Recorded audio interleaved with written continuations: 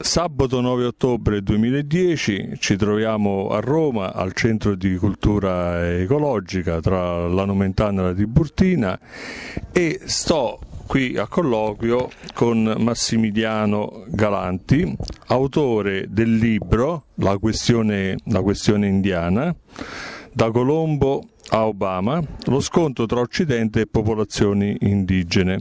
Allora, innanzitutto vorrei farti una domanda di carattere generale, che cos'è questo Comitato 11 ottobre? Il Comitato 11 ottobre è nato tre anni fa, è stato costituito da un gruppo di associazioni eh, di livello nazionale italiane, fra cui l'associazione Cerchio di cui io faccio parte, eh, con lo scopo di eh, promuovere eh, la costituzione della giornata della memoria del genocidio dei popoli indigeni e per chiedere che il, il nostro paese, l'Italia, ratifichi la Convenzione ILO 169 che è l'unico strumento giuridico che hanno i popoli indigeni per far valere i propri diritti sulle, sulle terre che gli appartengono. Eh, questa convenzione è stata finora eh, firmata, sottoscritta, ratificata soltanto da una ventina di paesi e eh, si applica soltanto a quei paesi che la ratificano. I paesi che, non, che, decidono di non ratificarla non possono essere chiamati in causa dai popoli indigeni quando questi paesi violano i loro diritti.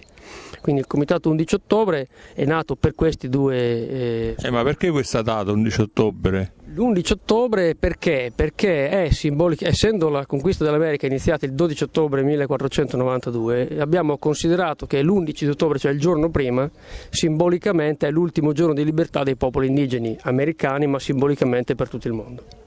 Oh, adesso venendo al tuo libro, che insomma direi è un bel libro, un bel volume dal punto di vista volumetrico, diciamo, ecco, lo, lo facciamo vedere, ed è, si chiama La questione indiana e la casa editrice, si, che come si chiama la casa editrice? I libri di Emile. Lib- eh, i, I libri di Emile ed è una casa editrice di Bologna. Allora, mi stavi dicendo insomma, che hai dedicato parecchi anni alla stesura di, di questo libro. Come, innanzitutto, come ti è venuta l'idea di scrivere? Cioè, è nato proprio che tu volevi scrivere un libro o hai raccolto tanti articoli, hai scritto tanti articoli, tanti saggi e poi alla fine li hai, li hai unificati in un, in un volume più organico?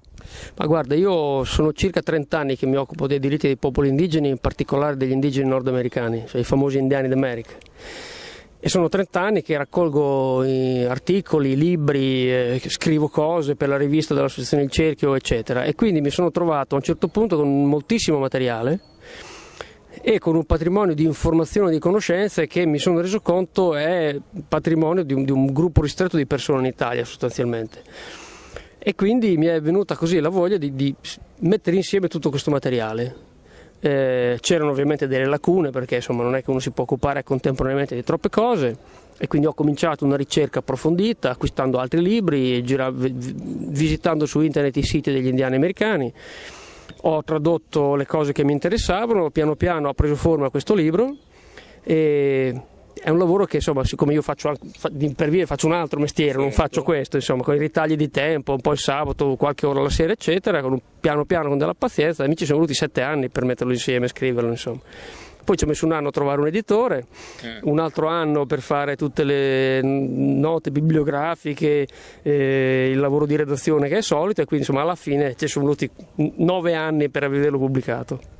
Senti, ma si chiama da Colombo a Obama, ma quindi diciamo la parte più recente in cui in qualche modo c'entra Obama, mm, cioè, c'è, c'è, scritto qualche cosa, cioè comunque si può ad ascrivere all'attuale presidenza qualche cosa di, particolar, di particolare, di originale nei confronti rispetto alla questione indiana?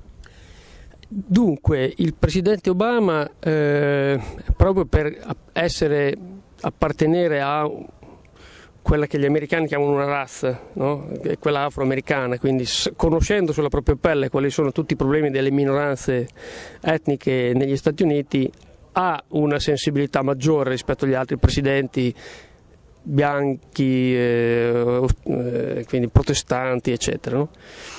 E lui, ancora durante la campagna elettorale, eh, si, è, si, è, fatto vedere nelle riserve indiane, quindi è stato il primo presidente della storia degli Stati Uniti che è andato a visitare le riserve indiane e ha fatto la campagna elettorale presso gli indiani.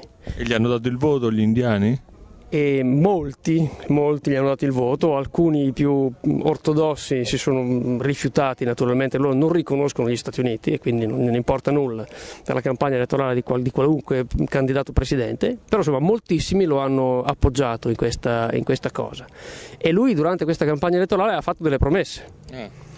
E queste promesse, quando è stato eletto, diciamo, ha, ha cominciato a mantenerle. Qual è la promessa più importante? La promessa più importante per gli indiani americani è di avere nei punti chiave dell'amministrazione federale i punti chiave che si occupano, del, o meglio, che hanno a che fare con gli indiani, con le riserve indiane, con le tematiche sociali che riguardano gli indiani, gli ha promesso che avrebbe messo rappresentanti in, indiani, nordamericani.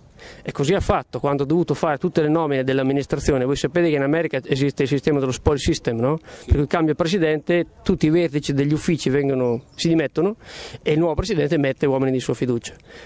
E nei, nei punti chiave dell'amministrazione che hanno a che fare con gli indiani, con le riserve, ha messo eh, indiani. Per la prima volta quindi? O già c'è stato con qualche altro presidente? Non è stata la prima volta, nella storia americana ci sono stati altri nativi americani che sono stati messi nei posti di responsabilità, ma erano non mai in figure apicali. Lui invece per la prima volta ha messo nelle figure apicali delle amministrazioni che, che riguardano questi argomenti proprio degli indiani che tolti dalle riserve, no? che vengono dalle riserve. Quindi ultima domanda, ma quindi per quello che puoi valutare tu, ha preso dei collaborazionisti dei bianchi e li ha messi nell'amministrazione o effettivamente ha preso delle espressioni reali, insomma, del, rappresentanti effettivi, veri del, del, insomma, delle, delle etnie indiane? No, no, lui ha preso del, delle, delle persone che veramente sono dalla parte delle, delle, della propria gente, delle proprie tribù. Non è gente venduta ai bianchi, come mm, si può dire in poche parole. Naturalmente eh, il sistema federale americano è stato strutturato nei secoli per tenere sotto controllo le tribù, cioè tutta la, la legislazione indiana è stata pensata e messa in, in opera per tenere sotto controllo le tribù. Cioè, oggi, ancora oggi, non c'è nessuna tribù che possa decidere autonomamente cosa fare. Cioè, hanno, ci sono i consigli tribali, che però sono un'istituzione tipicamente americana, non è l'istituzione tradizionale degli americani, quindi lavorano con le logiche de, de, de, americane, bianche, prendono delle decisioni, ma tutte le decisioni sono sottoposte al vaglio delle autorità federali, per cui se la decisione di un consiglio tribale non piace a Washington, viene cassata e la tribù deve ricominciare da capo. Per scardinare questo sistema ci vuole molto tempo, bisogna fare una, una guerra feroce verso gli apparati federali e in questo momento Obama ha altre gatte da pelare come tutti sappiamo dai giornali e dai telegiornali, per cui in questo momento qua non ho notizie che stia facendo un'azione in, questo, in questa direzione. Va bene, ok, ti ringrazio. A voi.